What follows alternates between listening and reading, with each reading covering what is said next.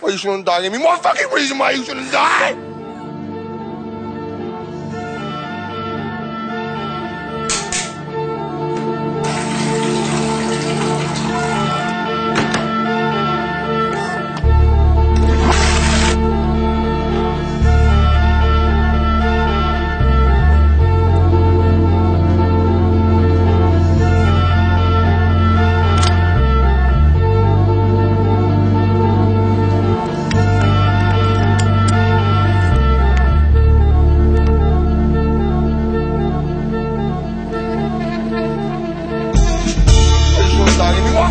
my